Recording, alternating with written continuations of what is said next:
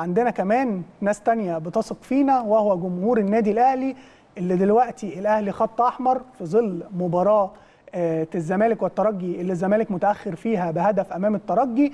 جمهور الأهلي خط أحمر وجمهور قناة النادي الأهلي بيخلي هاشتاج الأهلي خط أحمر هو الثالث على مصر يا أسامة حاليا.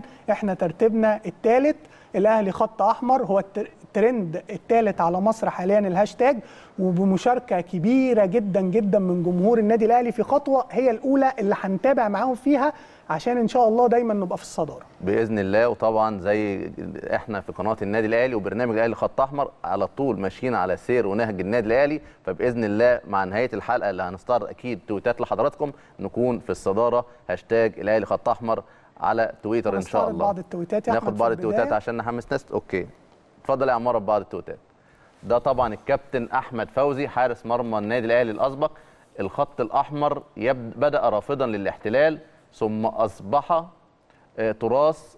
الخط الأحمر يعني عمر لطفي سعد زغلول الفريق مرتجي صالح سليم صالح الوحش. حسن حمدي محمود الخطيب طبعا مع آه، الاحتفاظ بالألقاب للجميع. الخط الأحمر يعني الرد يا رب آه، بأدب وتهذيب وأخلاق عالية. طبعا بنشكر الكابتن أحمد فوزي بالتويتة دي وطبعا بنحتفظ بالألقاب لكل اللي تم ذكر اسمه. كابتن أحمد فوزي من آه، المحاربين الخاصين بالنادي الأهلي على السوشيال ميديا.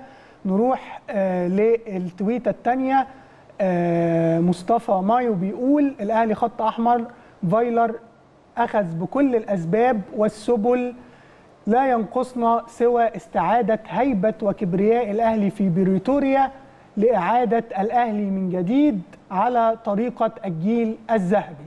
دي كانت تاني تويتة معانا. معانا وليد أحمد.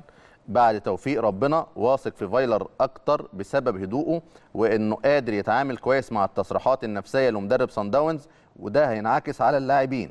واثق من تأهل الأهلي إن شاء الله واثق من اللاعبين وعمل مباراة كبيرة إن شاء الله 29 مايو الأهلي طرف في النهائي. نروح للتويتة اللي بعد كده وأسماء نبيل بتقول الماتش ده بيفكرني بماتش القطن الكاميروني في نهائي 2008 وقتها كان القطن من أقوى الفرق ومش بيخسر على ملعبه والجو كان حار جدا وملعب جروة كان مليان بالجماهير والكل متوتر وعلى أعصابه لغاية ما أحمد حسن أحرز هدف التقدم. بدأنا نهدى رغم الشراسة الهجومية. معانا طبعا تيخا مفيش حاجة اسمها رد اعتبار. زي ما معظم الناس بتقول. الأهلي كعبه عالي على كل أندية القارة وفق كل ده وفوق كل ده ماتش بكرة ماتش عادي جدا بنلعبه عشان نصعد للي جاي مش عشان بنرد اعتبارنا ولا حاجة. الأهلي عينه على البطولة فقط لا غير. نروح للتويتة اللي بعدها ونغم بتقول إن شاء الله الماتش من نصيبنا ولازم نلعب ونقدم أداء كويس. عشان هيفرق معانا بعد كده قدام أي حد. لازم هيبة الأهلي ترجع تاني. وأنا عندي ثقة في فايلر وكل اللعيبة إن شاء الله ثقتي في محلها. ربنا معانا.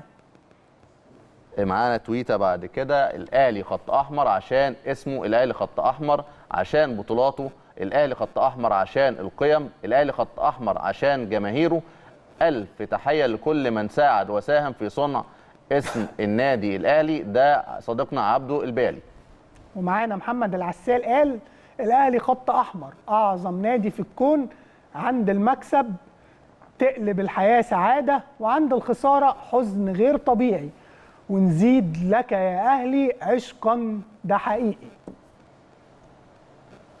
ده طبعا زميلنا أحمد أسامة إن شاء الله الفوز 2-0 بس أهم حاجة نحاول نمسك كورة كتير. طبعا أنا بقول على كل الأصدقاء هنا زمايلنا أنا في ناس طبعا أكيد ما نعرفهمش ولكن طبعا كلكم زمايلنا لأننا في النهاية جمهور النادي الأهلي وإحنا هنا زي ما قلنا بنمثل حضراتكم. أعتقد ممكن إن شاء الله على نهاية البرنامج زي ما قلنا إن شاء الله بإذن الله نكون في الصدارة على تويتر.